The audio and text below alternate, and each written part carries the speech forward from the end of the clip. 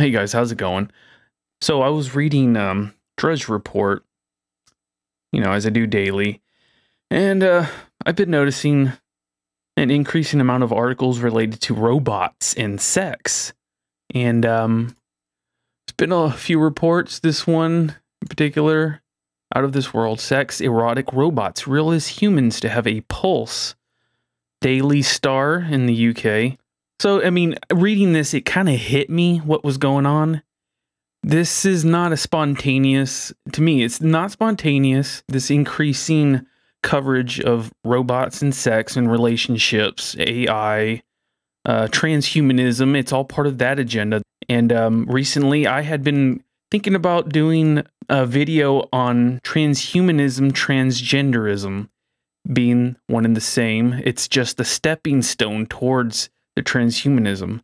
That transgender whole campaign we're getting bombarded with, and they're making people swallow in the schools and everywhere in public now. It's for a reason. There's a bigger role to this. It's not for human rights. This is actually a huge project worldwide backed by, you know, the Googles, the Pentagons, the Facebooks, virtual reality. This is all coming together for a purpose, and it's all part of a, a larger project. So um, you, you can see it going back decades.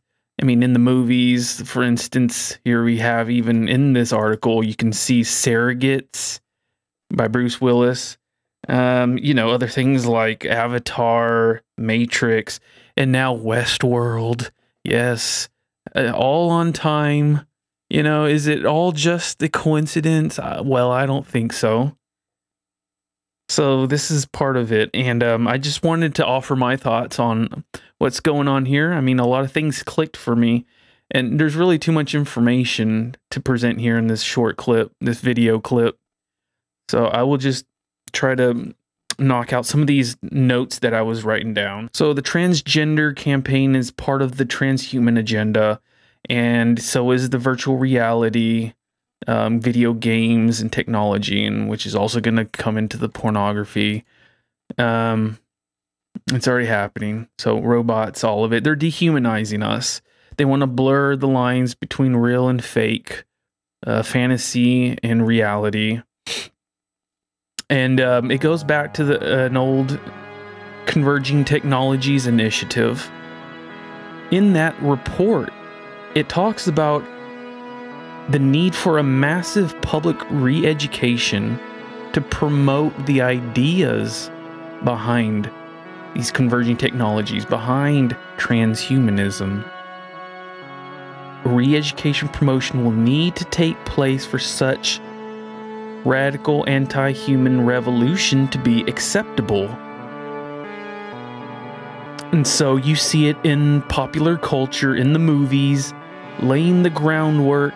Again, Matrix, Surrogate, Avatar, now Westworld, where they even have multiple uh, commercials or promos showing compute uh, robots having sex. At least I've heard. I've read the reports. I don't actually check them out. Usually here on Drudge. I mean, Drudge seems like he's pushing it a lot lately. Anyways, it's entering our conscious mind more and more everywhere you look. I saw this decades ago in the video games, and I knew, like, just looking at my nephew's um, Mario Kart game when DS came out, they um, started uh, introducing this robot character, and the look. There is a strange look on Donkey Kong's face, and the he looks suspiciously at the robot who is included now with the team of characters, and just that look, it's almost like the artist put that in there as kind of like a, a message to people like what's going on here? Like he himself saw what was happening he or she and didn't like it and put donkey kong in there with a strange look on his face and his finger to his mouth like uh-oh uh-oh. See that? He's like what the hell? Like they're coming they're taking over. And, and i knew i was like oh man they're introducing there it's it's coming in in every angle in the movies in the books in the magazines and probably in the music and i'm not even aware of it. The video games at every avenue of information every data point saturating us. So see that? And that's why i knew back then i was like yeah it's it's it's a big project. It's it's it's gonna take over. I knew I mean, I already suspected it, but then it's just little things like that. It kind of hits home for me. And I'm like, okay, this isn't an accident. Uh, it's just, it's something about it subconsciously. That look on his face, looking at the robot, that worried look. Yeah, that's right. Skynet coming. The drones, they're coming. Everything automated. So these this report about the converging technologies talks about how they want to introduce this to the public and that it would there would have to be a massive overhaul from the uh, elementary level basically from the public school level and I don't don't suspect for a minute that that's where it's going to end. That's just the beginning. Um so those movies, many more because I'm not a big movie buff. I'm sure you can think of more. Uh, one that I kind of blows my mind is that 1920s movie Metropolis. Metropolis even has uh, showed some signs of where we would be going. It is totally ahead of its time. Look at that. My goodness. That picture tells it all. What's going on? Pay attention to that picture. That is incredible. Mm-hmm. Who's that? Venus, I guess? And that says a lot, okay? So the religious aspect, the occult aspect involved in this, shall we say, idol worship, this image that receives uh, life. You know, are we supposed to end up worshiping this? Are we going to be plugged in? Hmm? Are we going to be wired in through the global mind that Tesla talked about and that Google is building and that um futurist like oh who was it? That H.G. Wells talked about a world brain. That movie itself is pretty tripped out. It has messed up messages in it and um yeah, I believe it was written by an insider, obviously an occultist, high level who knew the long-term plan. There, I mean, it even has the whole Catholic angle in there, little propaganda where the, the priest is in there to help save the day. So it's very interesting. And no, I'm not bashing Catholics, but there is a component of the Catholic Church to the Vatican that does play a part of this. They play a part. I'm not gonna go over the Z word, but um, they play a part with the, the Z people. I'll just say. Political Zionism, okay?